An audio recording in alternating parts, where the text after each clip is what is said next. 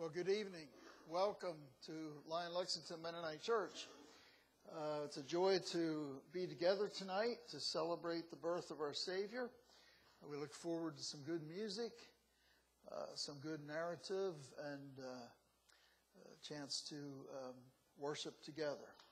Let's pray.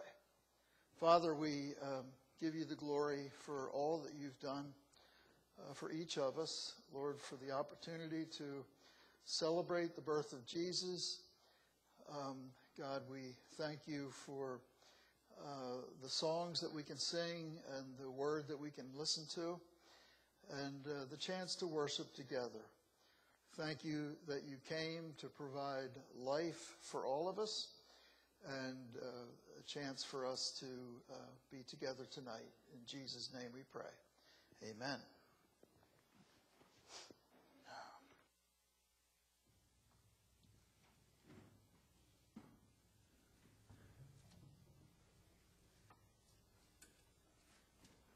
Begin our singing this evening by turning, if you're using the hymnal, you can turn in the blue hymnal to number 131. 131.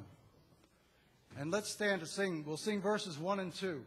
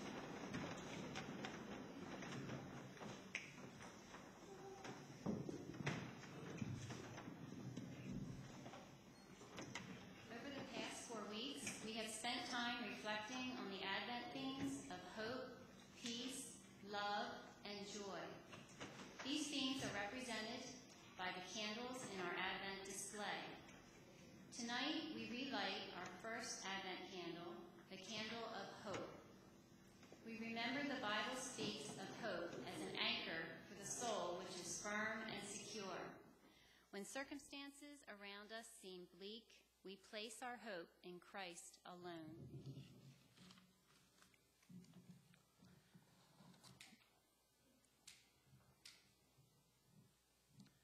As we relight our second Advent candle, the candle of peace, we are thankful for Jesus, who came as the Prince of Peace. His coming to our world makes it possible for us to experience the peace of God in our lives here and now and to reconcile us to God through his death on the cross. Now we relight our third Advent candle, the candle of love. It was because God loved the world, he sent his one and only Son, that whoever believes in him will not perish, but have everlasting life. We are grateful for the love of God, which is indeed far greater than tongue or pen can ever tell. Our fourth Advent candle is the candle of joy. As we relight this candle, our hearts are filled with the joy that comes from knowing Jesus, our Savior, and the Savior of the world. We know that happiness comes and goes, but God's joy produces within us a contentment that transcends momentary pleasures. And so, now on Christmas Eve, we light the center candle, the Christ candle. We pray that Jesus would always be the center of our worship. Of all that we do, of all that we live for. We celebrate the birth of the one who is indeed the light of the world, the Word made flesh, the one who has come that we might have life, and life to the fullest. This Christmas, may we all experience the hope, peace, love, and joy of Jesus as we together we celebrate his birth. Let's pray. Our Father in heaven, we give you thanks for the hope that is in Jesus Christ. We know that without you, our hearts are empty and our world is dark. We give you thanks for the peace of Christ that surpasses all human understanding. We acknowledge that there is little hope of peace when men and women keep you out of their lives. We are grateful that it is now possible to be at peace with you and with our fellow men. Thank you, Lord, for the joy that overflows in our hearts this Christmas season because of the birth of Jesus. We are thankful for the love that caused Jesus to come to our planet as a baby, to live a perfect life, and to take our sins to the cross that we might have eternal life. As we con- continue in this celebration of worship, may we each experience anew the hope, peace, love, and joy that comes from knowing the Christ child whose birth we celebrate tonight. Amen.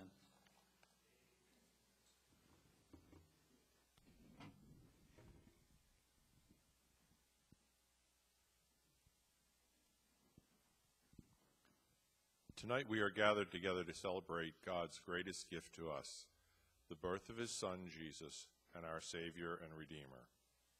For many years, the Israelites were looking for the Messiah, their Redeemer. They longed for a Savior. Some envisioned a king like David. Some believed he might be a leader like Moses, or like the prophet Elijah. How would they know when their Savior and Redeemer would come? In Psalms 130 we read, O Israel, put your hope in the Lord, for with the Lord is unfailing love, and with him is full redemption. He himself will redeem Israel from their sins.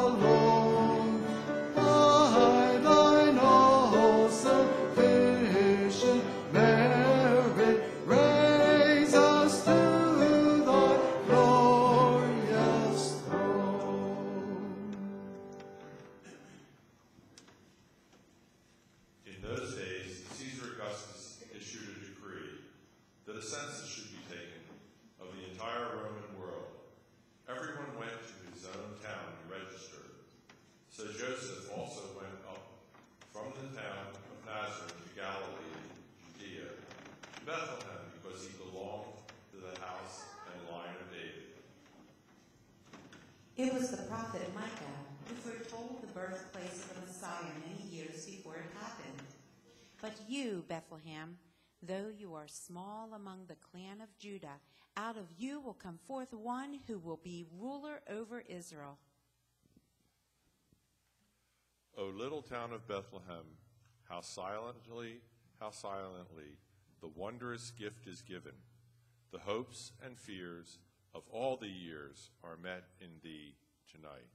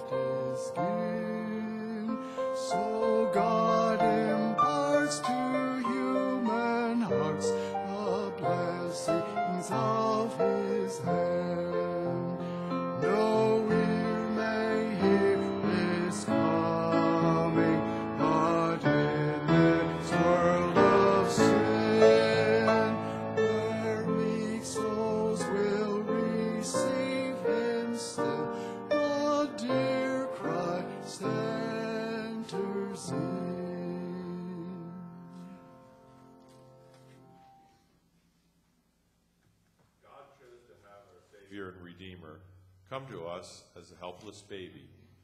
It was an angel who told Mary to name the baby Jesus. Mary was the first to hear that name, name that came from heaven above, name that raises souls from darkness, the name that sets the prisoner free, the name that gives sight to the blind. And there is no other name given to men by which we must be saved, the wonderful name of Jesus.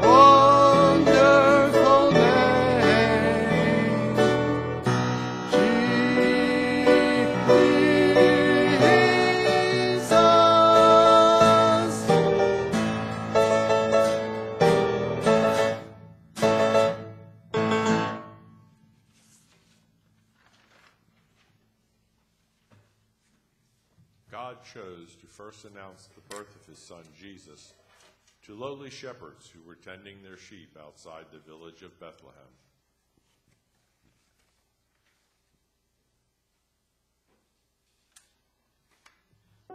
The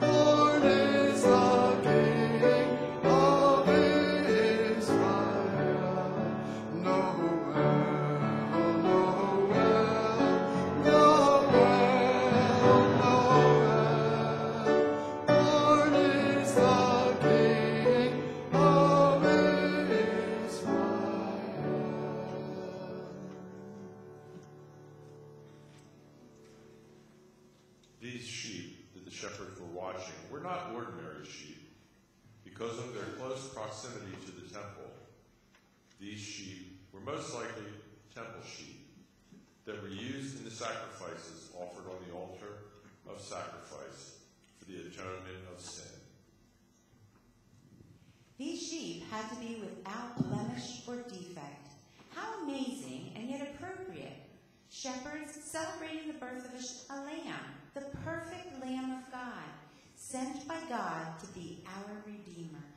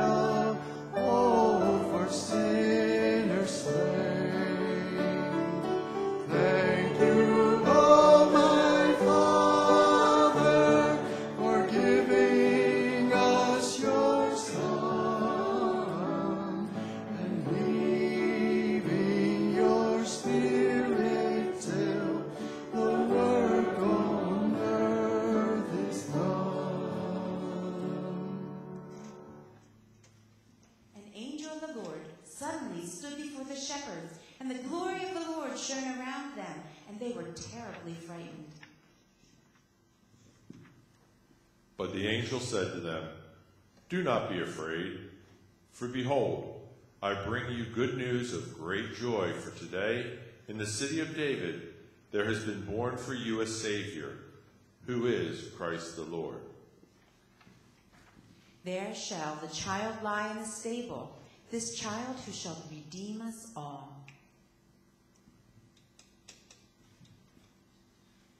How great our joy, great our joy.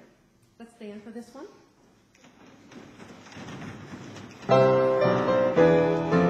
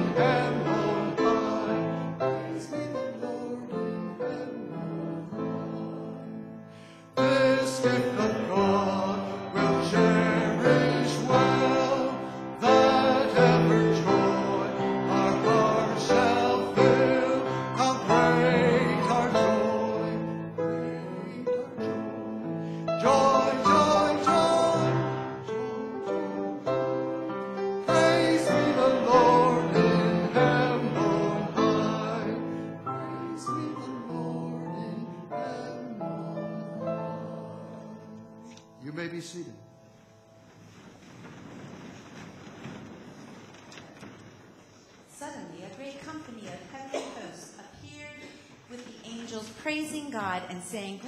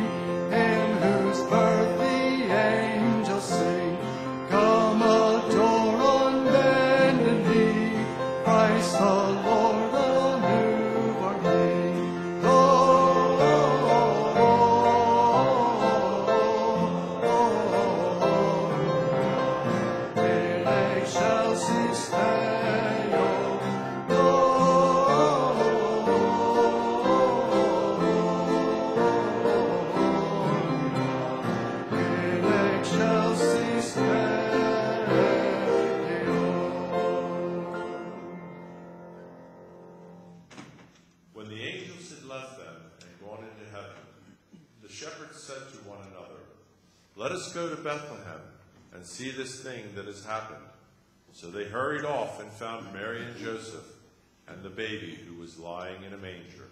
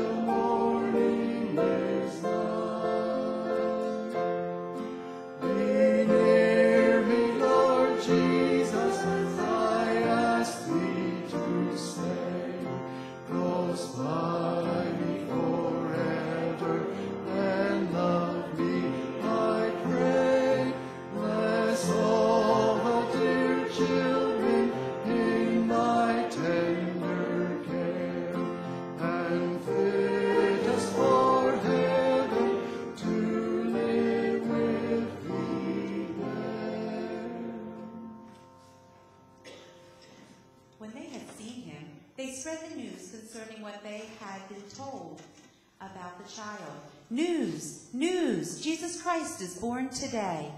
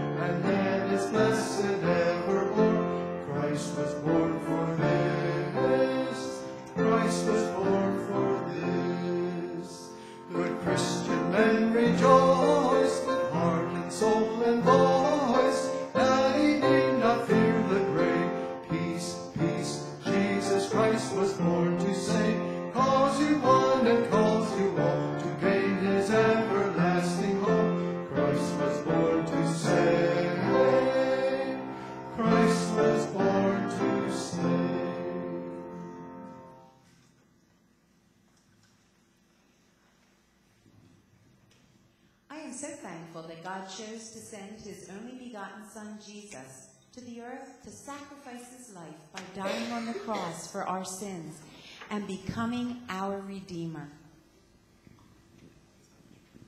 In 1 Peter 1:18, it reads, "You were redeemed with the precious blood of Christ, a lamb without blemish or defect." Just like the lambs sacrificed at the temple on the altar of sacrifice had to be without blemish or defect, Jesus became the sacrificial lamb for us without blemish or defect, lying down his life and shedding his precious blood, thereby atoning for our sins.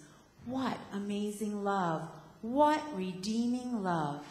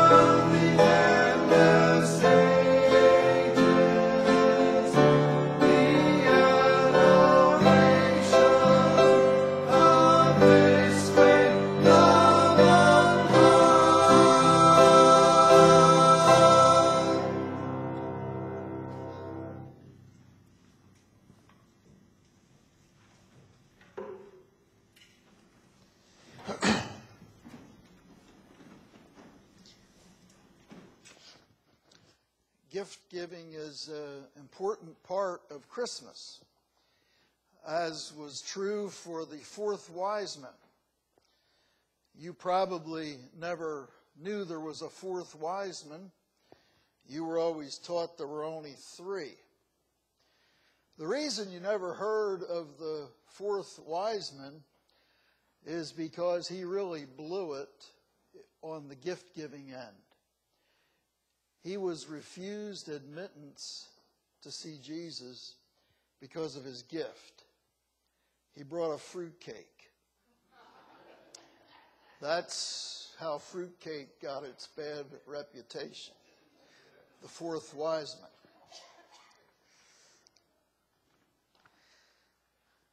You know what it's like to see a gift under the tree with your name on it. You've been snooping. You can tell a little bit by the size and the shape of the package. It's got your name on it. You have a very good idea what's in that package. When nobody's looking, you shake it and you weigh it. And you can imagine the benefit that you'll get from that gift when it is finally unveiled. In your mind, you're already using it. In your mind, you're already reaping the benefits of that gift. But it is only when it is unwrapped, when the true contents of the box uh, are revealed, that you know with certainty you've gotten the gift that you anticipated. I heard of a creative family that had two kids, and what they did, they had, let's say it was Johnny and Susie. All of Susie's gifts they labeled with Johnny's name, and all of Johnny's gifts they labeled with Susie's name. And can you imagine when they sat there to open the gifts and Johnny realized that everything he'd been shaking and holding and trying to guess were really Susie's gifts, and his were marked uh, with her name on it. Christmas was the unveiling of God. It was God unwrapping and giving us a clear picture of who he is. The writer of the Hebrews says it this way. Chapter 1, verse 1. In the past, God spoke to our forefathers through prophets at many times and in various ways. But in these last days, he has spoken to us by his Son whom he appointed heir of all things, and through whom he made the universe. The Son, Jesus, is the radiance of God's glory, the exact representation of his being, sustaining all things through his powerful word. Dear friends, that is the clearest communication God has ever given.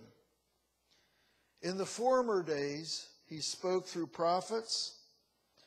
In these last days, he has revealed himself in Jesus Christ. Jesus said it during his ministry more than once. You read it in the Gospels. He said, If you've seen me, you've seen the Father. I and the Father are one. S.D. Gordon put it this way Jesus is God spelling himself out in a language that we can understand. The biggest problem you and I have is that our sin has alienated us from God. Sin cannot be removed with the stroke of a pen. Forgiveness and salvation cannot be given from afar off or in an impersonal fashion. Sin cannot be dealt with by a word of sympathy, especially from one who knows nothing of its anguish. God needed to enter our world, face our temptations, carry our sorrows, and bear our sins on the cross. In one glorious verse, the Apostle John describes the way God provided for us in that manger. John 1:14 the word became flesh made its dwelling among us. Uh, Eugene Peterson translated that in his message. God pitched his tent in our neighborhood. The idea of God dwelt among us is rooted in the Old Testament tabernacle days when God would, his presence was in the tabernacle. And so John says, God tabernacled amongst us. We have seen his glory, the glory of the one and only, the one who came from the Father, full of grace and truth. You need that balance. There are people so full of grace they wouldn't know truth if it hit them over the head. There are some that are so concerned with truth and dogma that there isn't an ounce of grace in them. Jesus came a perfect balance of grace and truth. I still go back to the way Max Lucado described it in one of his earlier books. The omnipotent in one instant made himself breakable. He who sustains the world with a word chose to be dependent upon the nourishment of a young girl. He came not as a flash of light, not as an unapproachable conqueror, but as one whose first cries were heard by a peasant girl and a sleepy carpenter. Were it not for the shepherds, there would have been no reception. Were it not for a group of stargazers, there would have been no gifts. Angels watched as Mary changed God's diaper. The universe watched in wonder as the Almighty learned to walk. Children played with him in the streets. It all happened in one moment when the Word became flesh. The Word became flesh, made his dwelling among us. We have seen his glory, the glory of the one and only who came from the Father, full of grace and truth. God became one of us. God lived among us. God revealed himself to us. And Jesus was full of grace and truth. The truth part is that sin has separated us from God. The good news of the gospel is that God provided the way back to God. The way back that was all lost in the Garden of Eden. And that's the grace part. And really, there are two kinds of grace there is common grace, and there is redemptive grace, saving grace. The common grace, every one of us here is experiencing now. the life in your body, the breath in your lungs, the gift of another day, uh, your family, your friends, your spouse, your children, your relatives, life in general is common grace given to every man, woman, boy, and girl.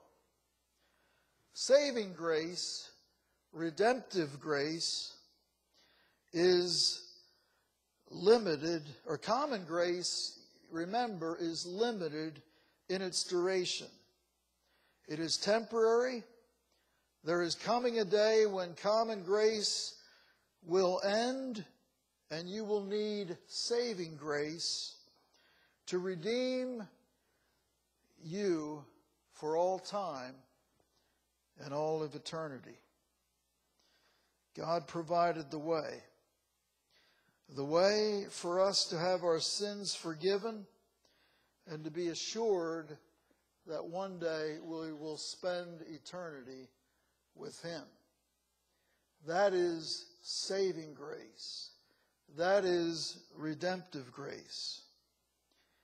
The truth is, salvation is a free gift, but it can be rejected. It can be ignored. It must be received. According to Revelation 3:20, Jesus stands at the door of our hearts and knocks. When we hear his knock, when we hear his voice, we need to open the door of our hearts and invite Jesus in. Let me ask you tonight have you ever done that? Have you ever received redemptive, saving grace? Was there a point in your life when you expressed your sorrow to God for your sin and asked Jesus to forgive that sin, to come into your life and to provide for you redemptive grace. If you've never done that, I would invite you to do that even now.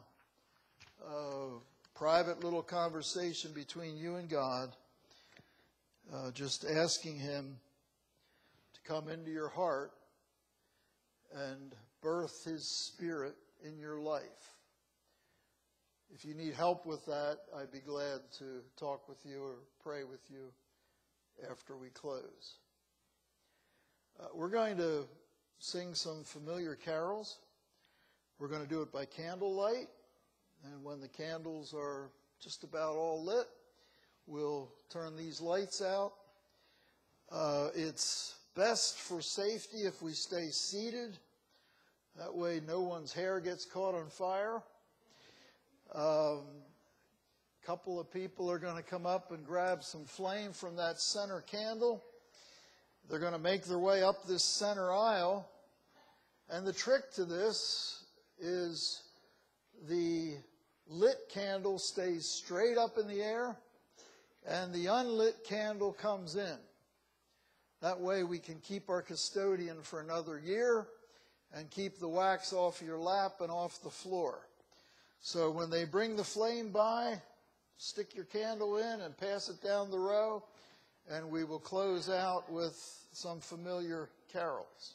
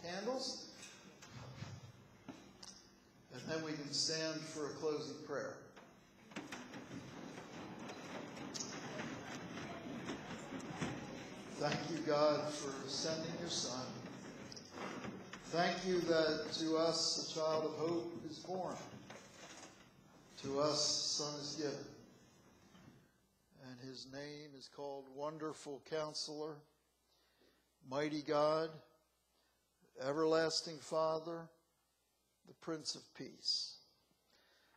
God, I pray that your peace would accompany each of us as we go from this place. In Jesus' name we pray. Amen. Go in peace.